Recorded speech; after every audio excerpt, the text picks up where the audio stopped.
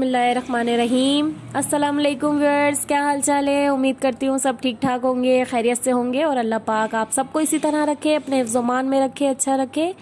तो चलते हैं अपनी रेसिपी की तरफ़। आज हम एक ज़बरदस्त सी रेसिपी आपके साथ शेयर करने लगे हैं और हमारे साथ है सलमान भाई। जो आपके साथ ये ज़बरदस्ती रेसिपी शेयर करेंगे। तो आज की हमारी रेसिपी है roll paratha chicken roll paratha. बहुत ज़बरदस्त रेसिपी है, ज़रूर ट्राई करिएगा। रमज़ान स्पेशल है लॉकडाउन स्पेशल है।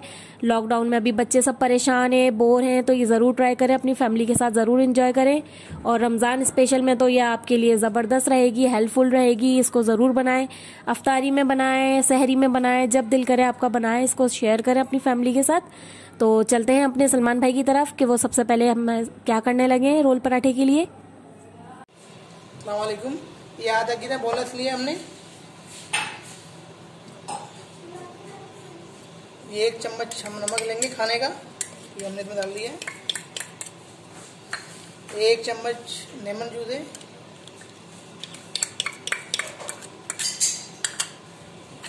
एक चम्मच लाल मिर्चें।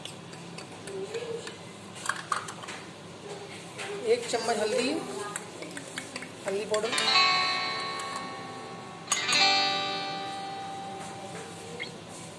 दो चम्मच दही ले रहे हैं।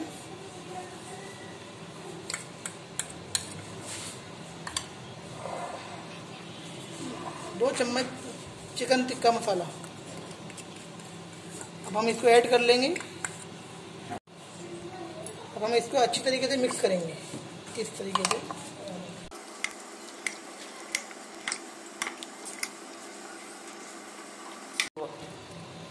हमारा ये सही से मिक्स हो चुका है।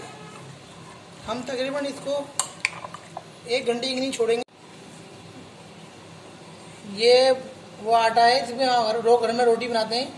ये हमने वो ये ये आटा लिया है। एक किलो लिया हमने आटा। इसमें एक खाने का चम्मच घी डालना है। एक खाने का चम्मच नमक डालना है। ये हमें इसमें पानी डालना है। नॉर्मल भूनना है। ना ज़्यादा टेढ़ हो, ना ज़्यादा नरम हो।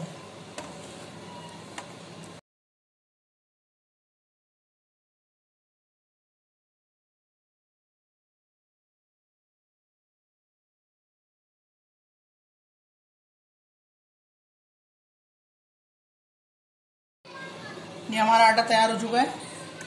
अब हम इसमें थोड़ा घी लगाएँगे ऊपर। हमने इसमें घी लगा लिया। अब हम इसको थोड़ी देर के ढक देंगे तकरीबन आधा एक घंटा। सो व्यूअर्स आप लोग देख सकते हैं ये हमारा आटा भी गुन गया है हमारी चिकन भी मैरिनेट हो गई है। अब हमने दोनों चीज़ों को एक एक घंटे के लिए हम रख रहे हैं फिर एक घंटे के बाद आपको मिलते हैं। ये हमने कोले जला लिए अब हम टिक्का पूड़ी बना रहे हैं। ये हम रोल के लिए मुर्गी को फ्राई करेंगे फ्राई करेंगे कोलों पे। देखें इस तरीके से को भरना है आराम से। सही सीधे करेंगे। ये हमारे कोले बिल्कुल तैयार हैं। हम इसको भर के कोलों में फेंकेंगे अभी। ये हम लगा रहे हैं रोटियाँ हमने हैं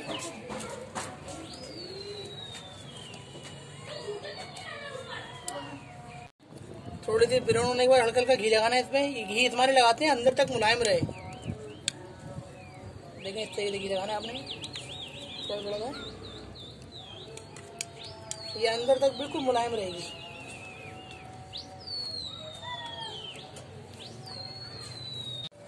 इसको ऐसे कर, ऐसे करके घुमाते रहना इसको। आगे पीछे करते रहें आप। ऐसे नीचे आगे, थोड़े कोले थोड़ा तेज हो गए हैं आपको कोले को मिला लें आप।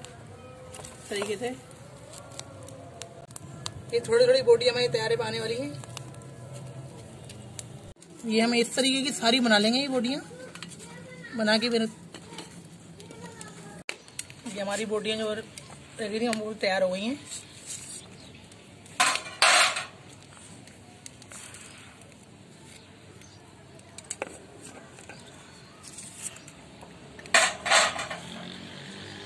अब हम नीचे पराठा बनाने के लिए जाएँगे। रोल पराठे के साथ खाई जाती है खट्टी सी चटनी, मज़ेदार सी, चटपटी सी। तो हम वो चटनी के लिए हम क्या ले रहे हैं? हमने ये दो चम्मच हमने इमली थी, हमने उसको भिगो दिया आधा कप पानी में। अब उसमें हमने घुटलियाँ निकाल ली हैं, ये पल्प है खाली। तो ये हम पल्प ऐड कर रहे हैं इसके अंदर। ये हाफ़ टी स्पून नमक है। ये पुदीने के दो चार पत्ते हैं मतलब one table one tablespoon के करीब हमने ये पत्ते लिए हैं। ज़्यादा हमें इसमें पुदीना नहीं चाहिए, क्योंकि हमें लाल चटनी चाहिए। हरी चटनी नहीं चाहिए हमें। ये गोल वाली साबुत लाल मिर्च है, ये ले रहे हैं हम। ये आप देख सकते हैं, ये भी टू टेबल स्पून के करीब भरकर हमने ये लिए, तकरीबन अब हम इसको गिन तो हम सकते नहीं है, लेकिन आप लोगों को दिख रहा होगा ये, दो टेबल स्पून के करीब भरकर हमने ये ले लिए हैं। ये चार पाँच जवे लहसन के हैं हाफ़ टी स्पून ये जीरा है, ये डाल लेते हैं। अब हम इसको अपने मिक्सर को खूब अच्छी तरीके से पीस लेते हैं ताकि इसके हमारी मिर्च के हमारे जो बीज होते हैं, वो भी पिस जाए और हमारी अच्छी सी ज़बरदस्ती चटनी तैयार हो जाए। तो अभी हम आपको इसको पीस के दिखाते हैं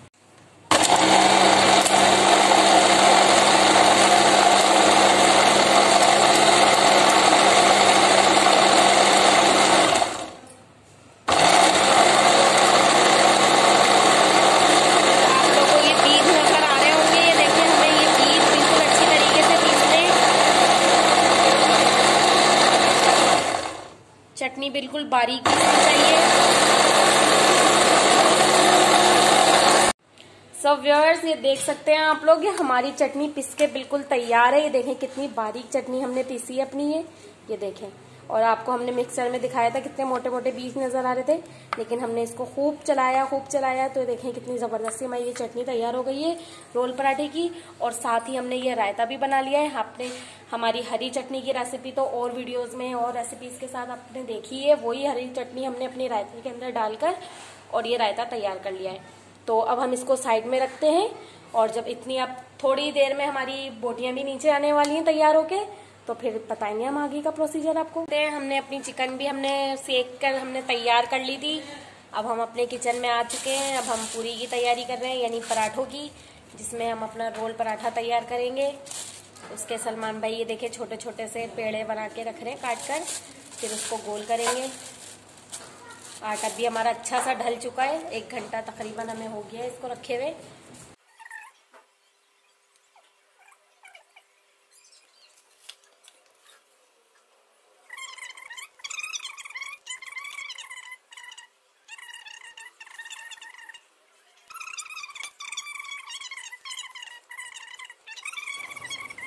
इस तरीके से हम घी लगाएँगे इसमें पेड़ों में।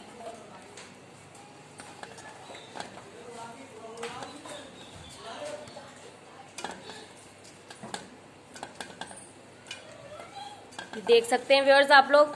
हमने अपने पेड़े बिल्कुल अच्छे से गोल कर लिए सारे। और अब हम उसमें घी लगा रहे हैं, अपने हाथ से ही, हाथ में, अपनी उंगली में घी लेकर।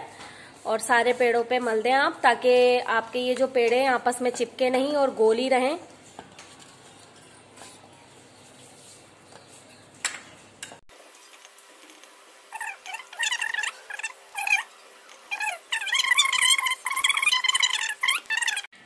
ये हमारा घी तैयार हो चुका है, गर्म हो चुका है हमारा घी। अब हम इधर ये पराठा छोड़ने की तैयारी में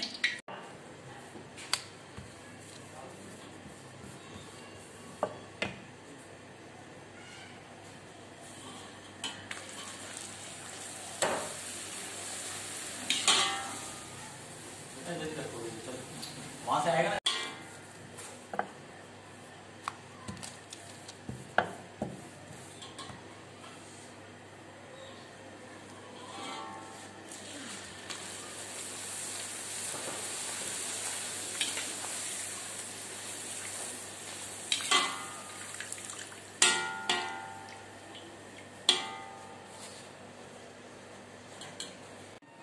अब हम ये रोल रोल बनाने की तैयारी कर रहे हैं। क्योंकि इस तरीके से बनाना है रोल अपने। वैसे तो बटर पेपर रख, रख, रखते हैं इस पर मगर हम बटर पेपर की हमें ज़रूरत नहीं है। हम बना के दिखाते हैं आपको। लेकिन पहले इसमें आप डालनी चटनी आपने इस तरीके से।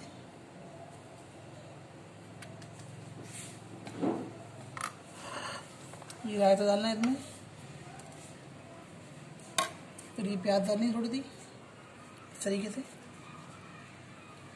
ये हमने अभी तक गर्म है बोटियाँ हमारी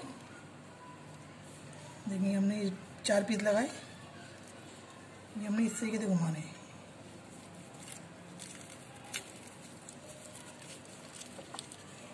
ये हमारा रोल तैयार है।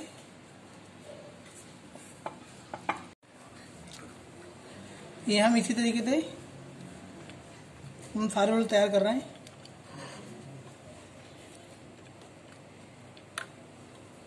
व्यूअर्स आप लोग देख सकते हैं, ये हमारे कितने ज़बरदस्त से रोल तैयार हो रहे हैं यहाँ पर। रोल पराठा, ये बहुत टेस्टी बने हैं, बहुत ज़बरदस्त बन रहे हैं ये। आप लोग ये ज़रूर ट्राई करिएगा। अपनी फैमिली के साथ ज़रूर शेयर करिएगा। अभी लॉकडाउन है, घर में सब परेशान है बोर हो रहे हैं। तो ऐसी चीज़ें बनाएँ जो आप लोग की फैमिली भी इंजॉय करे, आपके बच्चे इंजॉय करें। मज़ा आ जाए उन बच्चों को भी, आपकी फैमिली को भी। अब हम इसी तरीके से अपने सारे रोल तैयार कर लेते हैं, जिस तरह से ये बन रहे हैं।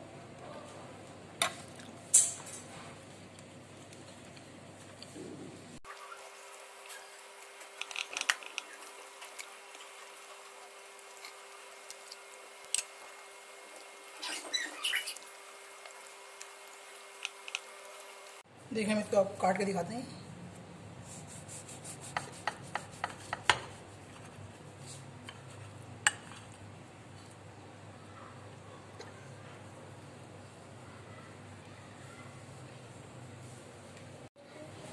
सो so, व्यूअर्स आप लोग देख सकते हैं कितने ज़बरदस्त से ये हमारे रोल पराठे तैयार हो चुके हैं। आप लोग ज़रूर ये ट्राई करिएगा। रमज़ान स्पेशल रेसिपी है लॉकडाउन स्पेशल रेसिपी है। जिस वक्त आप इसको ट्राई करना चाहें ट्राई करें बहुत ज़बरदस्त है। और हमें कमेंट बॉक्स में ज़रूर आप कमेंट करके बताइएगा आपको ये कैसे लगे। लाइक ज़रूर करिएगा। और जिसने अभी तक सब्सक्राइब नहीं किया है सब्सक्राइब कर लें हमारे चैनल को। बेल आइकन पे ज़रूर क्लिक करें। तो अभी हम चलते हैं। फिर हाजिर होंगे एक नई रेसिपी के साथ। और थैंक यू सो मच अल्लाह हाफिज़।